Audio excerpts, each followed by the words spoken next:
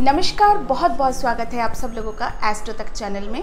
मैं हूँ प्रीतिका मजूमदार। आज हम बात करेंगे चट मंगनी, पट शादी के लिए आजमाए ये टोटके। आज वो सारे टोटके मैं बताऊँगी। जो लोग चाहते हैं फटाफट मंगनी तय हुए और फिर फटाफट शादी भी हो जाए, ऐसे जो लोग चाहते हैं, उन्हीं के लिए ये उपाय मैं बताऊँगी। हर महीने के दो पक्ष होते हैं। जैसे कि एक होता है कृष्ण पक्ष, और दूसरा होता है शुक्ल पक्ष। तो शुक्ल पक्ष के पहले सोमवार को आपको भगवान शिव का व्रत रखना चाहिए। साथ ही कन्या के विवाह की चर्चा करने से चर्चा करते करने उसके घर के लोग जब भी किसी के यहाँ जाते तो कन्या खुले बाल से लाल वस्त्र धारण कर हँसते हुए उनकी कोई मिष्टान खिला दे, खिलाकर विदा करे। मतलब कोई भी आपके आपके घर आई है, कन्या की रिश्ता लेकर। तो उस समय आपको क्या करना चाहिए? जब रिश्ता लेके आई है उन लोगों को, जैसे आपको खातिरदारी करना है, उसके बाद जाने से जो पहले, जाने से पहले जो कन्या है, उनको आप लाल रंग का साड़ी पहना के सामने लाए और जो लोग, वो लोग जब विदाई होती है, जब आपके घर से प्रस्थान करते हैं, उससे पहले कन्या के हाथ से सबको मिष्टान का सेवन करा कर ही बाहर भेजेगा। इससे आपका चट मंगनी पट शादी हो जाएगा। और विवाह की चर्चा भी सफल होंगे। मतलब आपके, समझ लीजिए, आप लड़के वाले लड़की वाले के घर आए हैं और विवाह की चर्चा किया है और लड़की जाने से पहले उनको मिष्टान खिला के विदाई करते हैं अपने घर से। तो वो विवाह वो रिश्ता सफल होने वाले हैं। इसके अलावा एक उपाय आपको और बताऊँगी। कन्या के विवाह की चर्चा करने अ, करने उसके घर पर अ, लोग जब आते हैं मंत्रों द्वारा मंत्रों द्वारा भी कन्या विवाह का बाधा दूर कर सकते हैं। जैसे कि मंत्रों है ओम कत्तायनी महामाई महायोगिनधीश्वरी नंदो गोपोश्रुते देवी पति में कुरुते नमः। इस मंत्रों से ना केवल विवाह बाधा दूर होती है, बल्कि इच्छित वर की प्राप्ति भी होती है। तो ये मंत्रों एक बार मैं और रिपीट कर देती हूँ।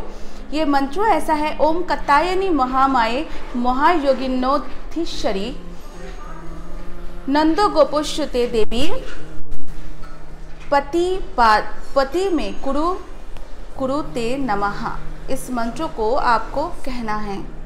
इससे रोज सुबह उठ के कन्या जो है, या फिर बड़ जो है, या फिर, जिस लड़का या लड़की की शादी नहीं होता उनके लिए ये मंत्र है, वो नहाने के बाद स्वच्छ कपड़े पहन के अपने घर की मंदिर में बैठकर ये मंत्रों को जपना चाहिए। ओम कत्तायनी महामाए महायोगिनोधीश्वरी नंद गोपोश्रुते देवी, पोती में कुरु कुरुते नमः। इस मंत्रों को बोल, बोलकर मंदिर में पूजा धूप दीप जला के पूजा करना है। विवाह के लिए सोमवार को एक किलो 200 ग्राम चने की दाल या सवा लीटर कच्चे दूध का दान करना चाहिए। ये प्रयोग तब तक करते रहना चाहिए जब तक विवाह ना हो जाए। और साथ ही एक उपाय आपको और बताऊँगी।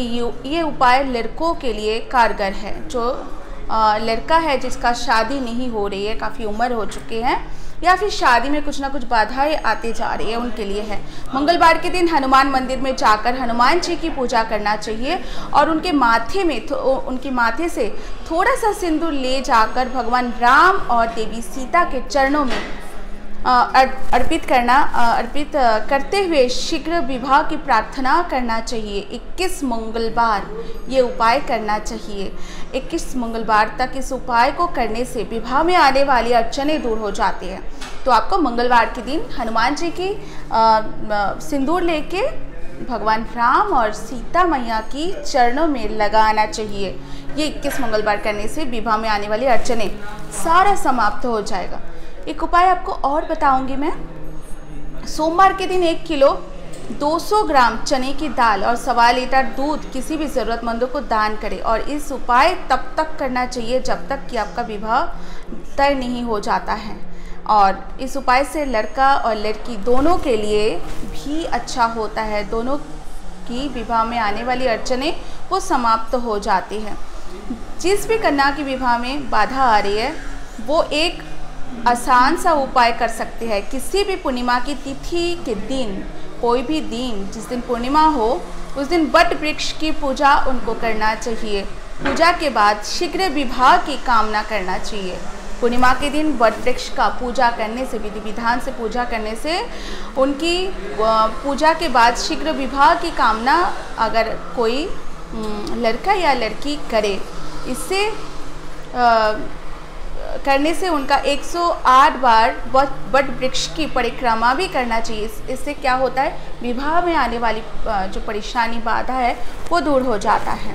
इसके अलावा एक उपाय और बताऊँगी मैं। प्रतिदिन प्रातःकाल स्नान करके माँ दुर्गा की तस्वीर या मूर्ति की लाल फूल से पूजा करना चाहिए। इसके बाद पत्नी मनोरमा देही, मनोवृत्त, तुषार मनोवृत्ता नुषारी निम। तारिणी दुर्गो संसार सा, सागरस्त कुलोत्तम इस मंत्रों को कम से कम पाँच माला जपना चाहिए। ये मंत्र एक बार और बता देती हूँ।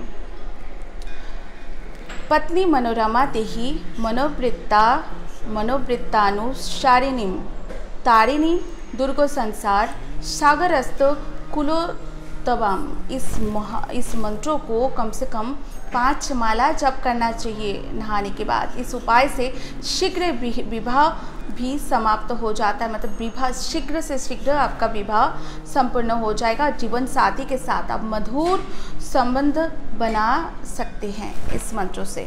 यदि व्यक्ति को शीघ्र विवाह की कामना है, उन्हें गुरुवार को गाय को दो आटे की पीरे पर थोड़ी हल्दी लगा के खिला देना चाहिए। इसके साथ ही थोड़ा सा गुड़ वो चने की दाल भिगी हुई चने की दाल वो जो है आटे के पेड़े के अंदर रख के गाय को खिला देना चाहिए। इससे भी तुर, तुरंत जो है विवाह में आने वाली जो परेशानी है वो ख़त्म हो जाता है। हर गुरुवार इसको ये उपाय करना है। आखिरी उपाय मैं बताऊँगी आपको। अगर किसी का विवाह कुंडली के मांगलिक योग के कारण नहीं हो रहा है वो नहीं हो पा रहा है तो ऐसे व्यक्ति को मंगलवार के दिन चंडिका सूत्र का पाठ मंगलवार मंगलवार के दिन, चंडिका सूत्रों का पाठ मंगलवार के दिन, शनिवार के दिन सुंदरकांड का पाठ करना चाहिए। इससे भी विवाह में विवाह के मार्ग की बाधाओं में कमी होती है। इससे भी विवाह की मार्ग की जो बाधा है, उससे धीरे धीरे करके समाप्त तो होती है। जो भी परेशानियाँ विवाह में आने वाली परेशानियाँ समाप्त तो होती है। चलिए, ये तो आपने जान लिया। कैसे कैसे परेशानी अगर विवाह में आए तो आपको क्या क्या उपाय करना, करने से वो परेशानी दूर हो जाएगा? चलिए, आज तो आपने जान लिया, इतना ही। फिर आप लोगों के सामने मैं दोबारा हाजिर हो जाऊँगी। कुछ ना कुछ पूजा पाठ, साधना और टोट के लेके। जब तक मुझे इजाज़त दीजिए सब्सक्राइब कीजिए एस्ट्रो तक चैनल को। नमस्कार।